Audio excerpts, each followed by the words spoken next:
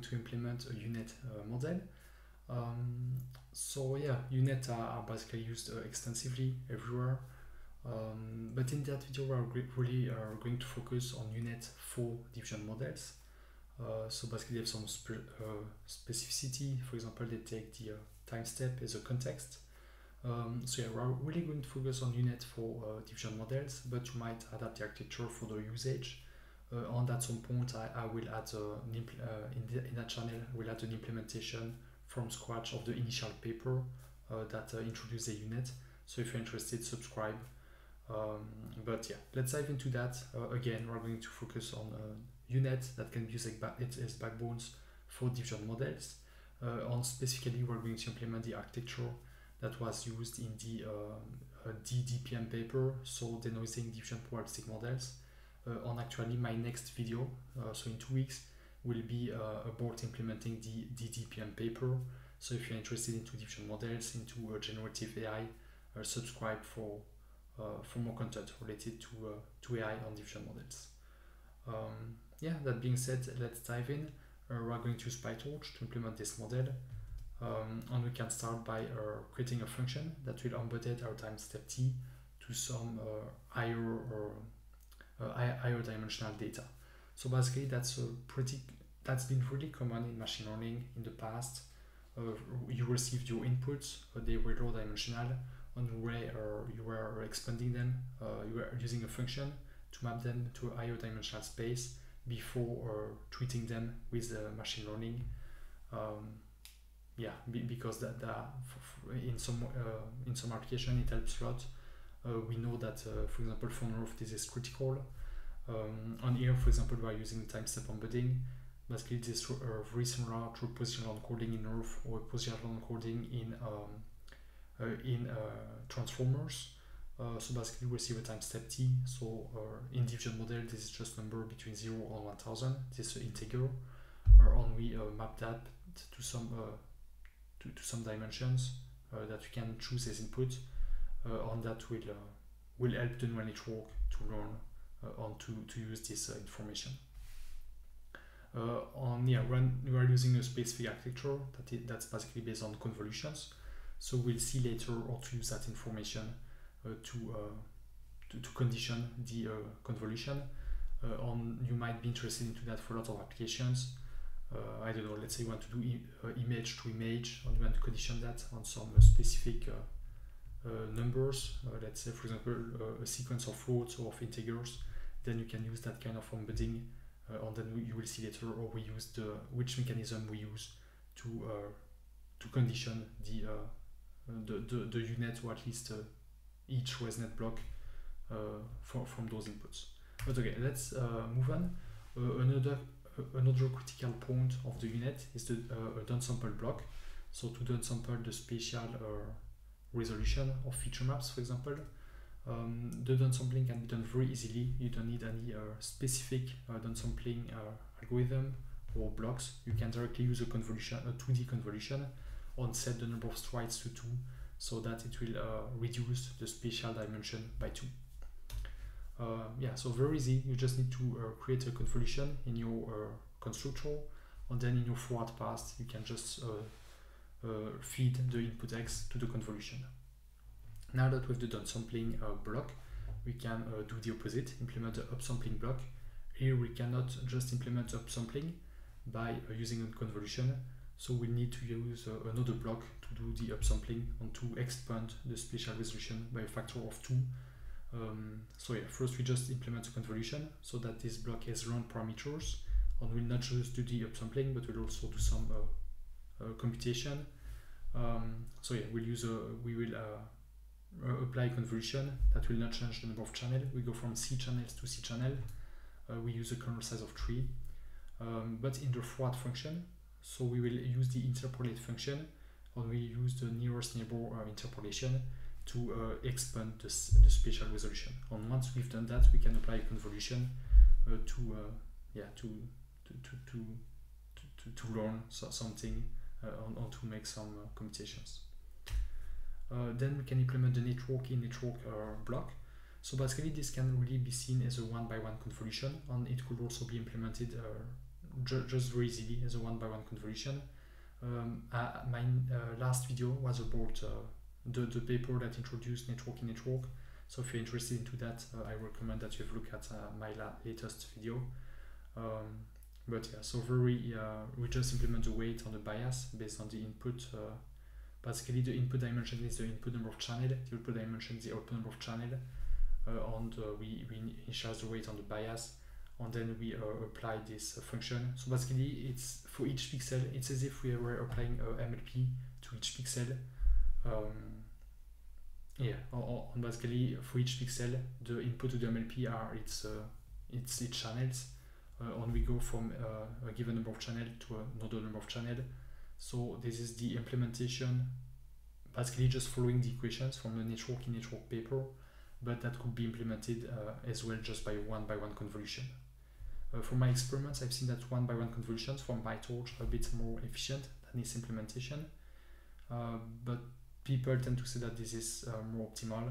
So I will need to make more or thorough, thorough analysis with TensorRT, for example. Uh, but from now, uh, by just compiling this function and comparing it to uh, one by one convolution from PyTorch, PyTorch was more efficient.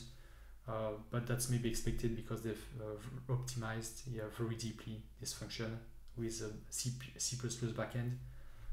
While when I, I am compiling this function, maybe I'm not, my the, the, the optimization is not as optimal. So maybe if we write that as a custom CUDA kernel, it might be more efficient than the one by one convolution. But again, this is doing exactly the same operation uh, if you use the same weight or the same bias for both operation, you will get the exact same result. But okay, moving on, on at least, and you, you will see this NIN block in a lot of uh, diffusion model implementation, or at least UNet backbone. So I think that's great that you see it. Uh, we can move on now to create the, the ResNet block. So basically, uh, yeah, a standard ResNet block. We are going to use two convolutions. Uh, if the um, if we need to, so uh, if, if there are some modifications of, if the number of input channels is not the same as the number of output channel, we are also going to add a one by one convolution or a network in network. Uh, you will understand why in a moment. Uh, and we will also use dropout as you can see in the argument from the constructor. And we're also going to use some linearities and we are going to use the SiLU. So let's move on to implementing a the forward function. So first we're going to, to apply group normalization and then the nonlinearity and then the convolution. Uh, we're going to do the same two, so for the first time and then the second time. Uh, and you can see that in between we're going to use the uh, time step t, so the embedding of the time step t. Uh, because yeah, for diffusion model we're using for the same network for each time step t, but we want the network to behave differently for each time step t, so we uh, condition it on the time step.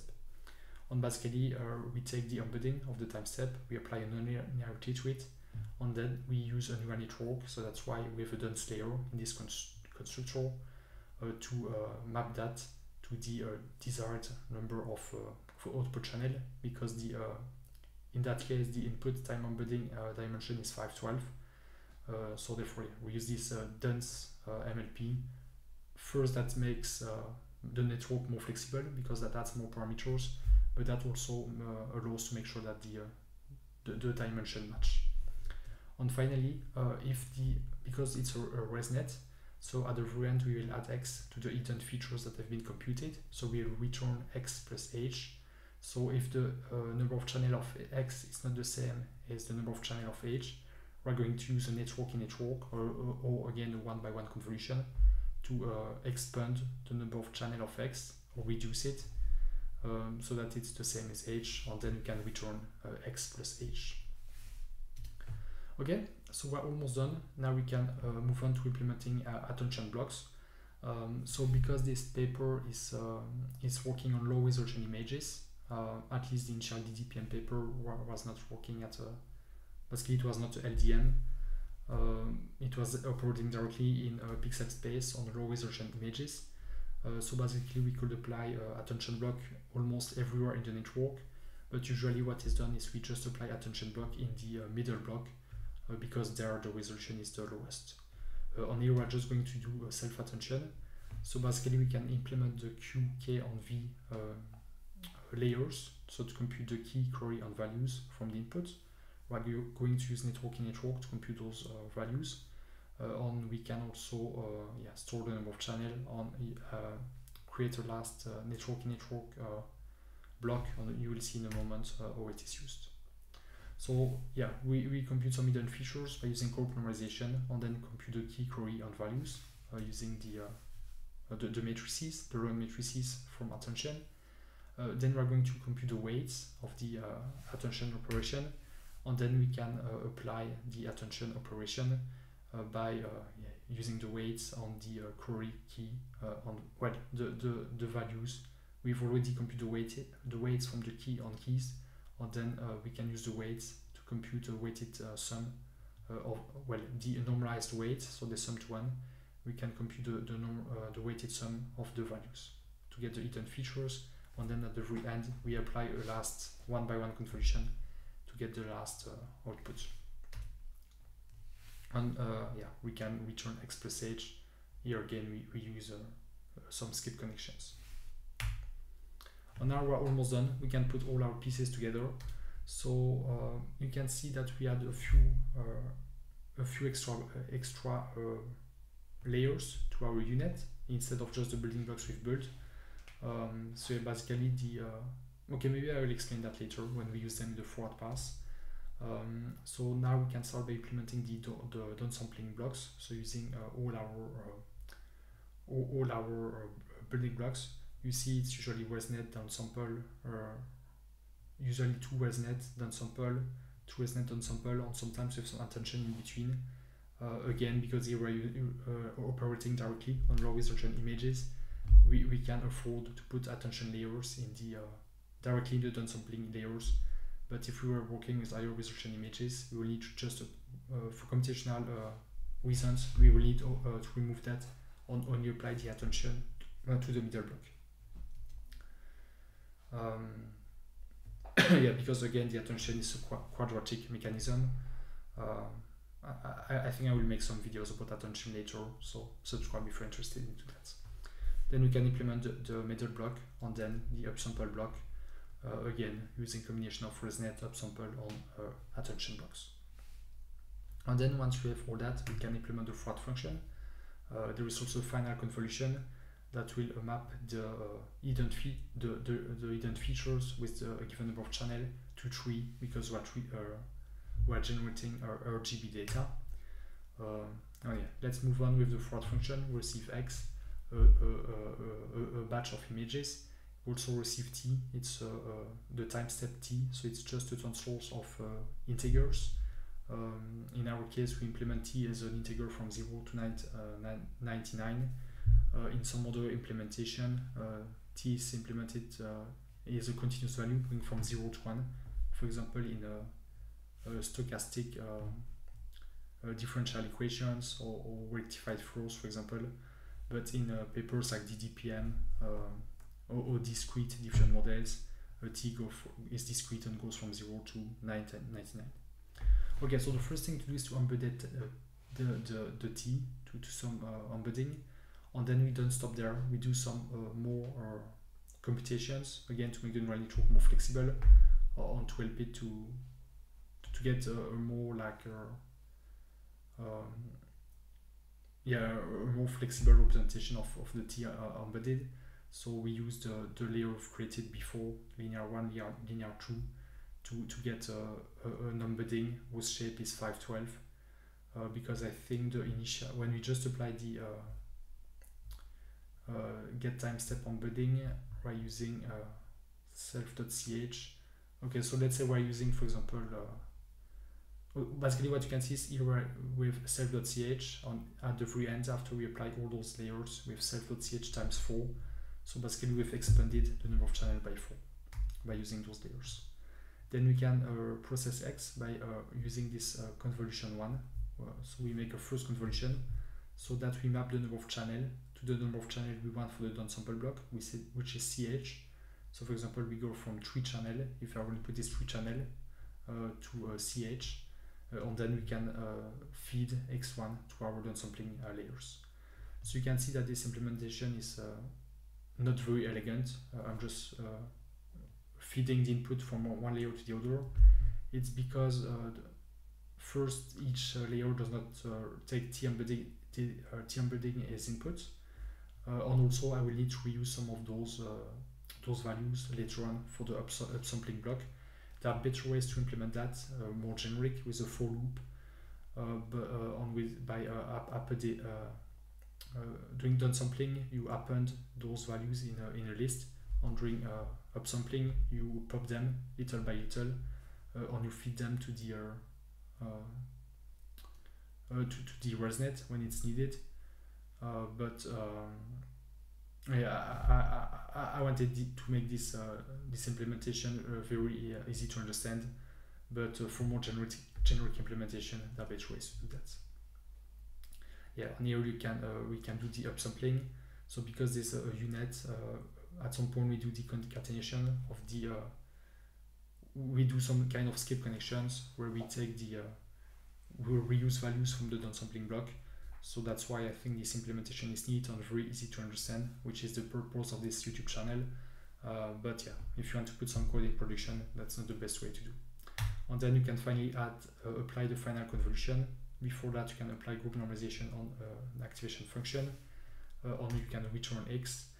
Um, depending on your application, you might want to add a final uh, activation function there, for example, a sigmoid uh, in our case, uh, for diffusion model, we don't want that. Um, so yeah, so basically that's it, that's it for our UNet uh, implementation. I hope you found that useful. download the code, play with that. Uh, for the context, it's coming from my course about diffusion model. So if you're interested to get more details about that, um, do not hesitate to, to, to have a look at my course. Uh, on next week, we are going to implement, to use this, uh, this as the backbone uh, for implementing uh, DDPM. So if you're interested, subscribe. And thank you for every info on this video and leave the thumbs up if it was helpful to you. Thank you.